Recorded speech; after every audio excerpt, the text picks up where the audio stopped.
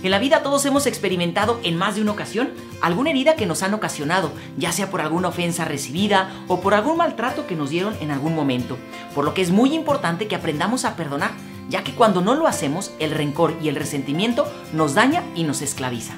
Algo muy hermoso es que la muestra más grande de amor que podemos dar al otro es precisamente el perdón, pues es un acto de valientes en donde se reconoce con humildad la propia imperfección y la de los demás, Padre.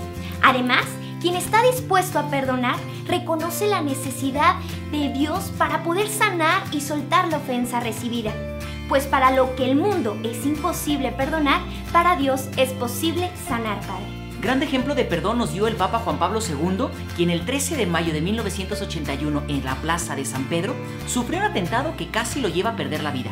Lo que conmovió al mundo entero fue su humildad y bondad para perdonar y visitar en la cárcel a su propio agresor.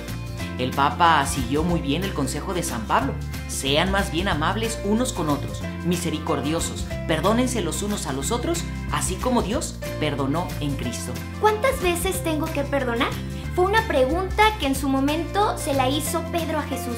Pero en cuántas ocasiones también nosotros nos hacemos esta misma pregunta. La respuesta que Jesús da es concreta. 70 veces 7, ¿Qué significa siempre. Muchos se cuestionan si en realidad debemos de perdonar siempre. Y sí, es correcto, para obtener la paz y la sanación que tu corazón está necesitando.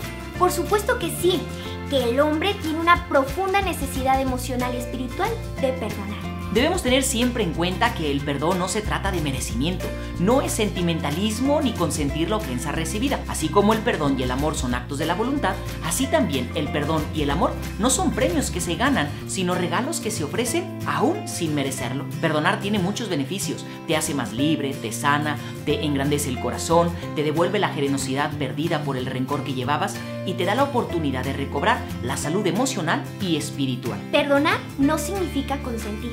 Es decir, el perdonar también exige un compromiso sincero de ambas partes para lograr sanar y perdonar lo que ha sucedido. El hubiera sí existe y estoy convencida de ello. Y no me refiero a que podamos regresar el tiempo para hacer diferentes las cosas, sino que podemos reconocer, aprender y transformar lo que sucedió y que muchas veces puede causar tanto mal y dolor a las personas que más amas. Mientras el cuchillo está en la herida, la herida seguirá sangrando y nunca cerrará.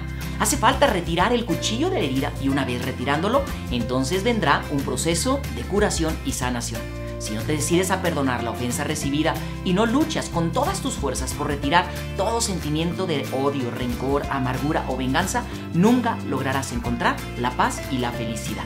No olvides que las heridas del alma son como las heridas de la piel. Si no se curan, se infectan y entonces el daño es mucho mayor. No tengas miedo, perdonar no es de débil, al contrario, te hace fuerte y te libera. Decídete hoy mismo a perdonar y desprenderte de todo aquello que te roba la paz.